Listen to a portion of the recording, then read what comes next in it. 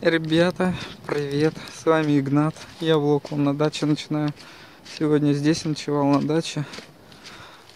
Ну, в общем, мне надо тут кое-что забрать. И я тут рядом работаю. Знаете, что мне надо забрать? Мне надо забрать печку, вот эту вот, с которой мы с Илюхой и с Ариной, и с мамой когда были. И ходили, когда мы на Коцевеле-то с ночевкой воду набрать надо умыться. Тут у меня тревел небольшой произошел. Я проснулся, света нету.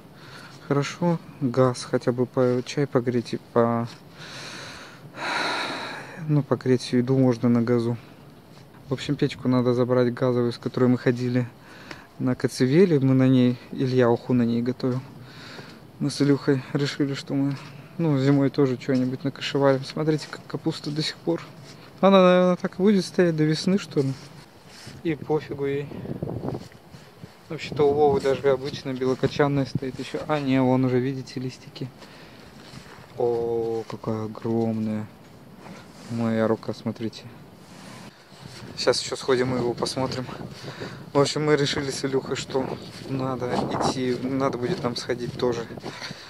Ну, куда-нибудь, какой-нибудь ухи заварганить. Может быть, еще кто-то с нами с пойдет. Короче, эта печка легкая. Возьму ее. А газ там у меня в Крыму есть к ней. Ой, надо умываться, есть и ехать. Вот, ива только к декабрю опала. Смотрите, вон все в ее листиках. На ней даже еще кое-какие листики держатся. Ой, весь пруд тоже, смотрите. О, а, думал, пруд какой-то пеной покрылся, а пруд замерз. Пруд замерз. А птички все равно поют. А печку и все свое оборудование, стрихомуди я хотел сказать, я в этом году не в сарай положил, в сарае там, блин, мыши могут быть. Я, знаете, куда запер? Я все это запер вон туда на чердак. Сейчас полезу на чердак. Сейчас покажу вам, где там что у меня лежит. Вон я на чердаке. Па-бам! Чуть-чуть поднялся, уже вид такой прикольный отсюда. В общем, вот они эти стулья, которые я покупал. Раз, два, три, четыре. Зонт мамин. Это спальники, палатки, пенки. Все тут оставил. И вот где-то это подушки, которые я с собой вожу.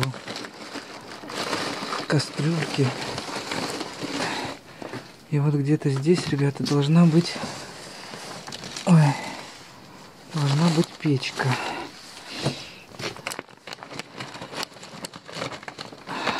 Она же здесь. Да, ребята, вот она, она печка. Еще даже ценник два года или три уже, как я эту печку купил, так он здесь и прицеплен. А, нашел. В пакете я, я искал в той сумке, думал, неужели она у меня в машине или дома где-то. Нет, все, я в кучу вытащил. Все, взял печку. Мне сегодня еще надо будет, ребята, вечером сюда вернуться. Вова попросил кое-что загрузить. Я сейчас поеду на работу. А вечером я еще заскочу сюда. Потом поеду в Питер. Мне, конечно, не очень-то хочется туда-сюда ездить. Но придется. Машину я мыл на прошлой неделе. Вот я ее помыл и только выехала. Она сразу вот такая. Надо опять мыть чем больше это, тем больше слой грязи на ней. Снег, когда выпадывал, я вон взял вот эту штуку. Снег один раз выпал.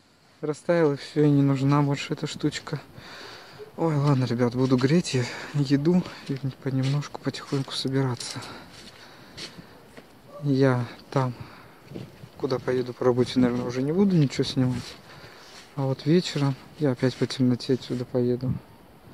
Я часов в 6 буду здесь и поеду домой потом.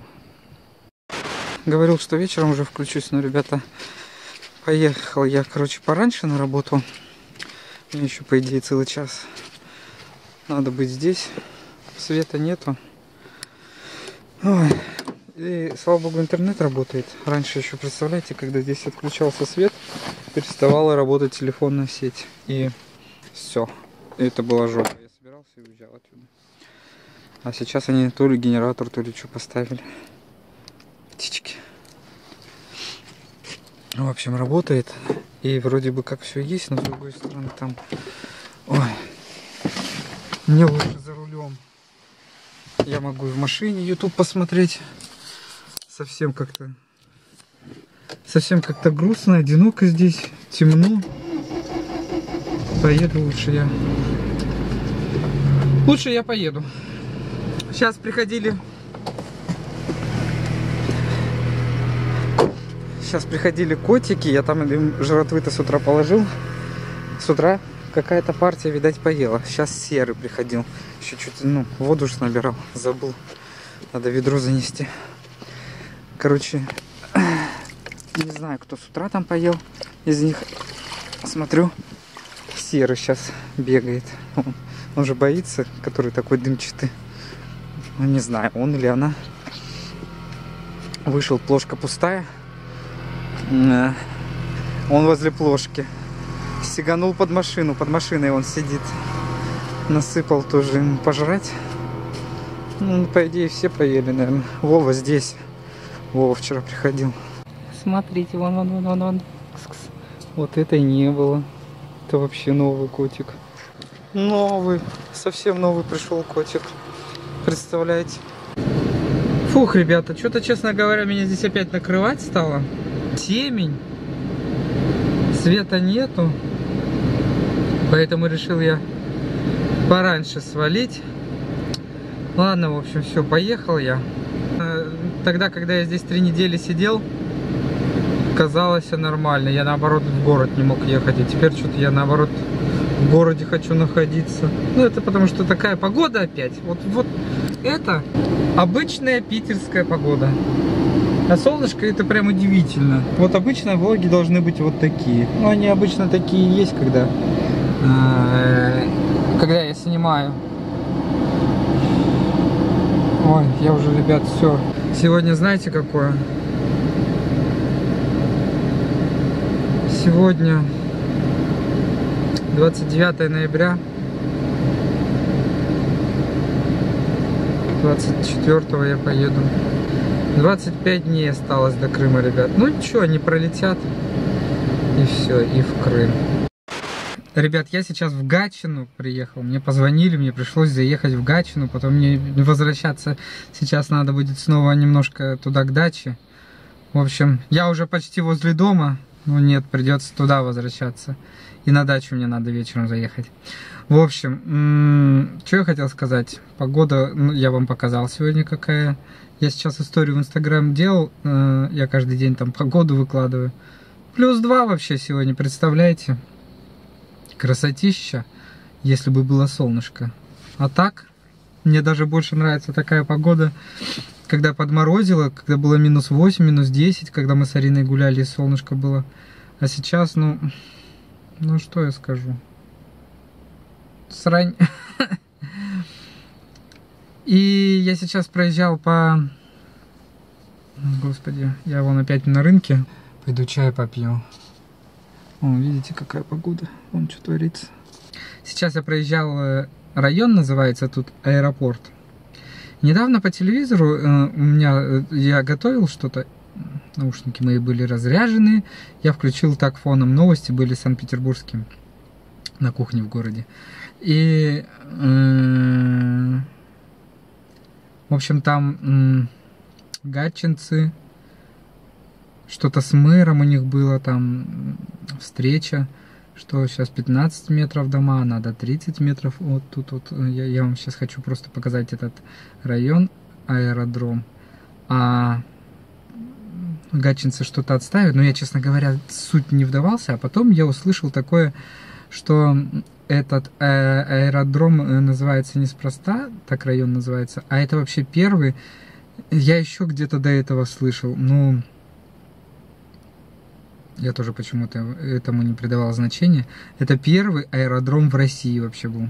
Представляете, какое культовое место? Ну, как культовое, не знаю, как это назвать. Ну, такое историческое, скажем, место, где первый аэродром в России. В общем, там пустырь сейчас от этого аэродрома остался, и его хотят застраивать многоэтажными домами. Я вот сейчас поеду там, э, попью чай, поеду там, остановлюсь, покажу вам пока еще не застроили этот аэродром. Покажу вам. Представляете, первый в России аэродром. Ребята, в общем, вот это вот все район аэродром. Здесь настроили много вот таких один. Здесь еще один, два, три, четыре больших садика, прям огромных. Здесь вот так, дождик идет. Здесь, походу, аллею какую-то заложили. Вот есть самолет, все как положено, здесь истребитель. Я до меня даже и не доходило раньше, что здесь этот истребитель как никогда, как нигде в тему. Ну а, ребят, вот это поле, которое там спереди. Вот он, видите, истребитель. Сейчас сюда поднимусь. Тушится снегом, что ли, что-то непонятно обледенело. И вот это поле, вот это вот все был первый аэродром России. Вот его будут застраивать. Вот я вам показал такое. Ну, ребят, скажем честно, это такое историческое место. Тут много чего же первого-то в Санкт-Петербурге было. Аэродром именно в Гатчине был первый аэродром в России. Сейчас его уже застроят. Вообще, конечно, удивительно, что они все эти года не трогали, да? Он пустырь как стоит, так и стоит, наверное. Но все равно как память была. Держали это как память, что первый аэродром. Ну, сейчас поменялись времена. И жилье решили. Да не маленькое жилье. Тут, видите, такие девятиэтажечки. Хотят в два раза больше. И скоро не будет этого аэродрома. Вот я еще, ребят, разворачивался. Везде в Гатчине елок понаставили. Я не знаю, в Питере, наверное, уже тоже. Просто показать, что, вон, видите, даже экран весь ну, сразу в каблях. Дождь идет и елки ставят. М -м, красота. Елка под дождем. Ребят, я все, сделал все, что хотел. Заехал, забрал свои вещи на даче. Э, времени сейчас знаете сколько? Времени 18.26, я в принципе не поздно выезжаю. И учитывая то, что я еще заехал в ленту, набрал продуктов целый пакет. Сейчас вам покажу, чего я там набрал. Ой, перекусил, блин. Полную. Ну, мясо поел. Мясо застряло в зубах. Ладно, все, ребята, мчу я в Питер. Все, наверное, следующее включение из Питера будет. Офигенное, ребята, 28 декабря. Я говорил, не буду включаться, но как не включиться? На улице ливень, представляете?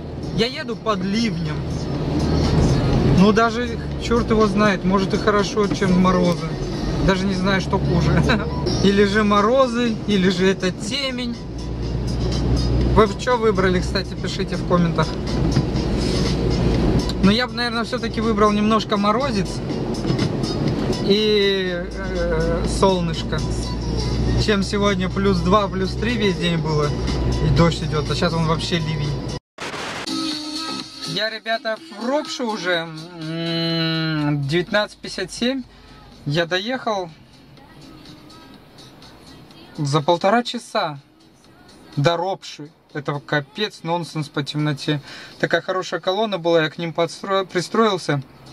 Никого не обгоняли, мы сотню шли и шли. Полтора часа я в ропше. Пить хочу, аж горле пересохло. Остановился, по... выйду сейчас попью. 19.57, а я 18.30 вышел. Полтора часа, офигеть, я уже на каде. Ну так-то да, еще полчаса. Не, ну я очень по темноте я обычно не гоняю, а тут сегодня прям удивительно. Сам, сам, сам себя офигел. Па-бам! Персик, с яблоко, персик с мякотью. Посмотрели, я что-то прям в последнее время с мякотью суки так полюбил. И еще мне, ребята, знаете что, я без куртки ехал, мне надо... Вот эта фиговина моя, транспортер я ее называю, не знаю, как она правильно называется. Она у меня уже три раза не сработала. Так стоит мой, ну, тот участок, которым я часто пользуюсь, он стоит 100 рублей, а по нему стоит 50 рублей. Не всегда деньги у меня, ну, в смысле... Вот сейчас мне пришлось, я по большей степени из-за куртки остановился, чтобы... Э, без сока бы я бы доехал до дома. А кошелек сзади был, остановился, чтобы одеть куртку, чтобы заплатить за этот платный участок. Так что, ребята, вот еще у меня какой какое приключение с этим транспортером. Я сегодня уже один выпил, так, надо мне их поставить, чтобы я их не забыл выкинуть. Ладно, все, погнал я дальше.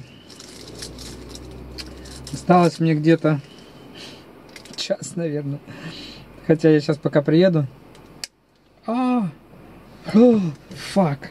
А, скотина, блин, как она парит. А, и на меня все. Сейчас пока я доеду до города, наверное, уже... Да, после восьми уже пробок мало. Единственное, мне знаете, про что надо не забыть? Мне надо не забыть, чтобы я поехал по... По московскому. На Лиговский не сворачивал. Сегодня пятница, последний день месяца, и, по-моему, сегодня черная пятница. Везде реклама идет. Это там ребята на перекрестке Лиговского и Невского, этот же, как его, блин, э, торговый центр-то.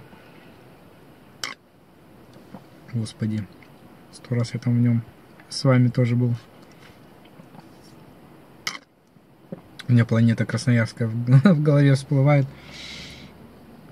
Галерея, о, господи, забыл.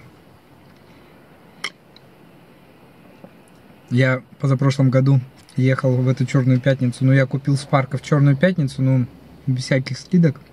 Мне его нужно было забрать в черную пятницу. Я торопился. Я э, тот район галереи пересекал 40 минут. И представляете, 40 минут с, с ЗСД и доезжаю до дома, это при самом хреновом раскладе бывает быстрее. А тут я небольшой участок 40 минут пересекал. Так что надо мне на московских воротах не сворачивать, а ехать прямо. Через Витебский вокзал. Ребята, я на Каде уже. Ну, ребят, я на ЗСД поднимаюсь. Я еще сейчас, ребята, сказал, что типа мне эта штука нужна, когда нету денег. А такой дальше еду, думаю, ну если нет у меня с собой нала, там наверняка же можно картой рассчитаться. Да стопудово там можно картой рассчитаться. Но все равно по транспортеру, я знаю, он как-то по-другому называется, скидка же 50% и как бы по нему приятнее. И на нем, правда, всегда деньги есть. У меня кошелек то в рюкзаке, то в куртке сзади, то еще где-то. А по нему хоп-хоп, без всякого гемора. Смотрите, как стекло сразу зафакалось. Вон, ребята, еще показать дом вам видели вы, нет, это огромный дом, и он как большой-большой экран. Он, не знаю, видно, сейчас вам не видно. На этом доме фигачат и реклама, и рыбки иногда плавают. Короче, дом, я не знаю там сколько этажей, но он очень высокий. И ночью он весь превращается со всех сторон в экран. Там то, говорю, рыбки по нему плавают, то какая-то реклама, то он как костер горит. Такой высокотехнологичный дом в Питере есть. 100 рублей, как с куста, так бы было 50. Просто, ну, конечно, 100 рублей это не деньги. Но извините меня, когда здесь постоянно ездишь, это еще какие деньги. И все равно 50 рублей, бух, хлеба можно Питер, привет! Я в тебе не был целые сутки.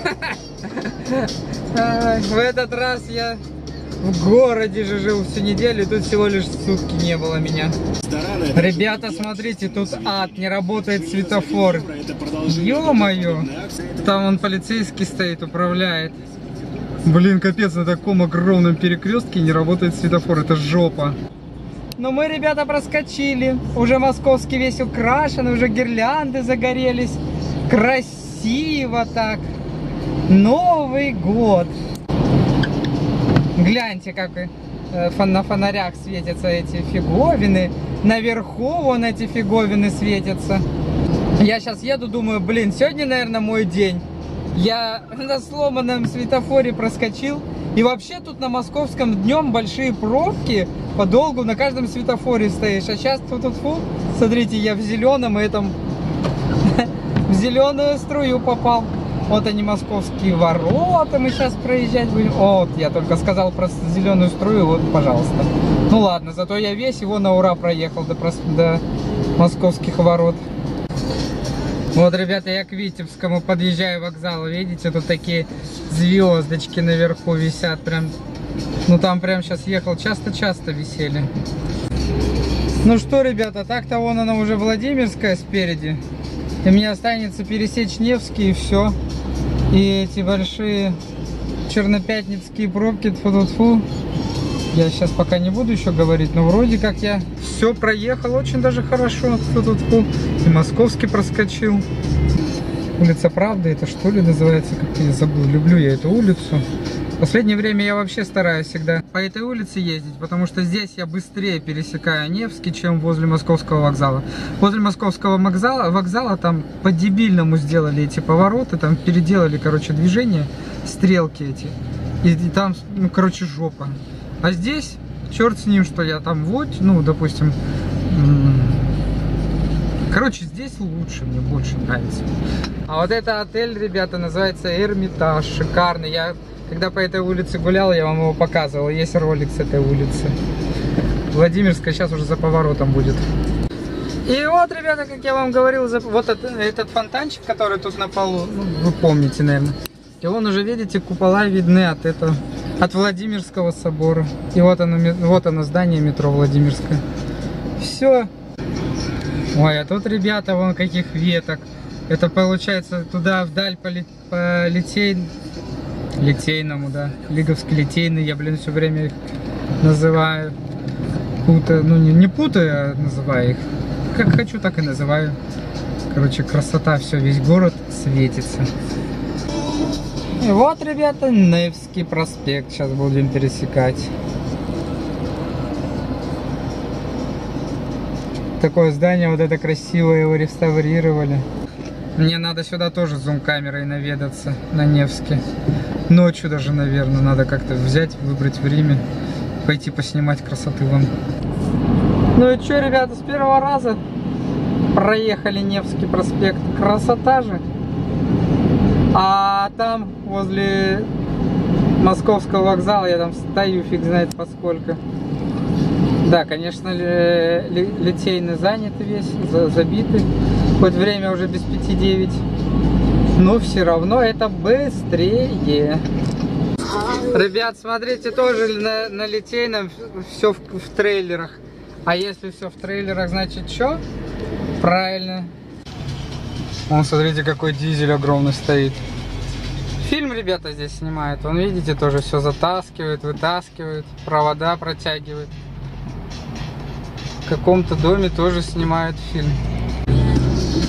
Ребята, проспект-то пустой. Смотрите, там просто авария была, поэтому и стояли.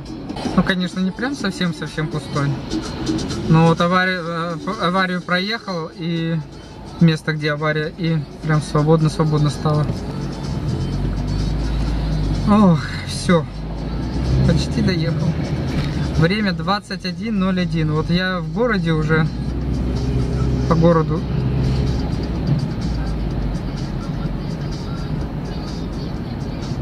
Ну, полчаса, полчаса от ЗСД. О, полчаса это я очень даже быстро. Итого до центра полтора часа, ну, прям до, до Невы, считай, я за полтора часа практически. 21.01 сейчас. Полтора часа. Полтора, говорю, два с половиной часа, и вот все. Я практически дома. Все, ребят, вот он поворот на Чайковского. Вот раньше вот здесь вот, где стоит это огромное серое здание, тоже церковь была свободная улица, везде свободно, только возле моего дома все в три ряда стоит. Короче, ребят, я счастливчик. Я думал, что сейчас я прямо у дома поставлюсь, но нет, я поставился там же, где, ну, короче, вот следующая арка моя, у соседней арки поставился. А я же вам в, в каких-то, ну, в прошлых влогах говорил, что я грязное постельное белье забыл свое там на даче. Короче, мне сейчас еду тащить, еще постельное белье тащить. Ну, в общем-то, я удачно встал. Два с половиной часа, и я в городе.